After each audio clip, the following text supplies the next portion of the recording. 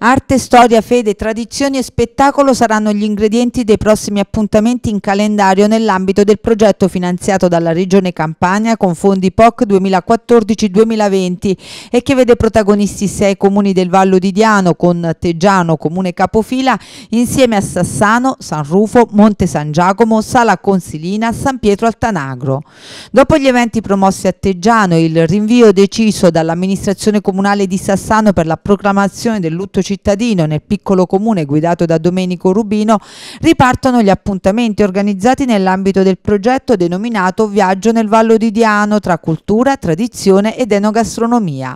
In questo mese di settembre l'arte pittorica sarà protagonista degli appuntamenti organizzati sia a Sassano che a Sala Consilina.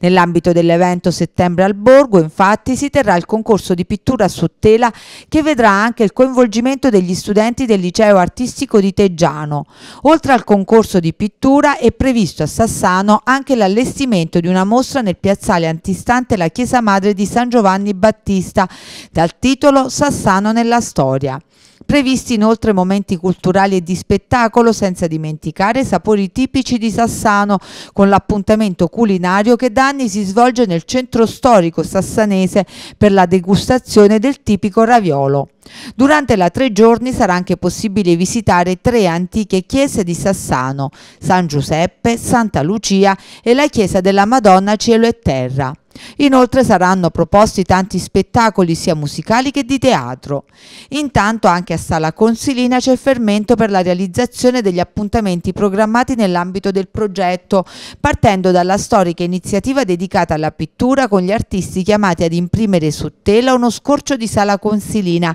nell'ambito dell'iniziativa denominata Sala Ieri, Oggi e Domani. Con le opere prodotte sarà allestita una mostra dedicata presso l'antico Palazzo Fior Elisi, visitabile dal 20 al 30 settembre, mentre una giuria tecnica sarà chiamata alla valutazione delle opere per individuare i quadri vincitori. Tre le opere da selezionare che riceveranno poi i premi messi in palio per il concorso con la consegna che avverrà nella serata del 30 settembre in piazza Umberto I a Sala Consilina, in occasione dei festeggiamenti in onore di San Michele Arcangelo e prima dell'inizio del concerto previsto nell'ambito del progetto effetto con l'arrivo del centro più popoloso del Vallo di Enzo Avitabile e Bottari.